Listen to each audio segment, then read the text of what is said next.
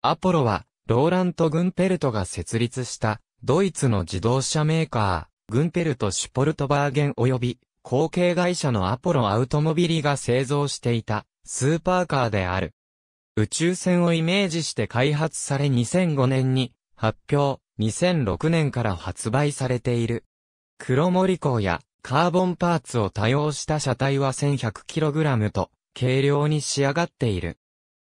エンジンはグンペルトがアウディのエンジニアだったため、アウディ製 4163ccV8 ツインターボが採用されている。最高出力は 650PS、6000rpm、86.7kgm、4500rpm にもなり、最高速度は時速 360km、0時速 100km 加速は3秒となっている。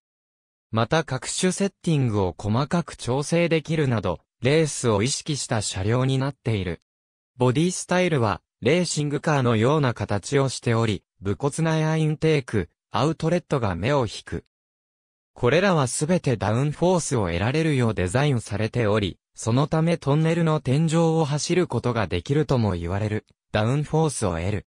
ドアは、ランボルギーニやケーニグセグとは違い、デロリアンやプロトタイプレーシングカーのようなルーフにヒンジがあるガルウィングドアとなっている。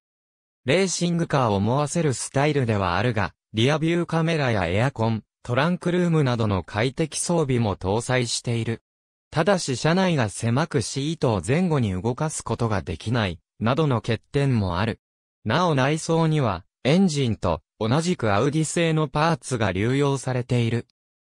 2009年8月13日には、ドイツニュルブルクリンク、北コースにて、乗用市販車としての当時の最速記録7分11秒57を樹立した。これは2013年9月4日に、ポルシェ918に破られるまで、行動走行可能なクーペボディのスポーツカーとして、最速記録であった。グンペルト・シュポルトバーゲンは2013年に経営破綻し、後に香港の企業の出資を受けた新たな経営母体のもと、アポロオートモビルとして経営再建され、2016年にアポロの後継車種をリリースすることを表明した。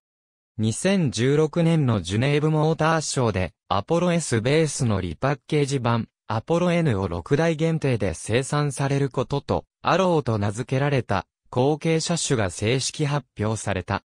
800PS を発揮するレース、エアロパーツを追加したスポーツ、650PS に出力を落としたエントリーモデル、ツインターボをツインスーパーチャージャーに変え 780PS を発生させるインレージドがある。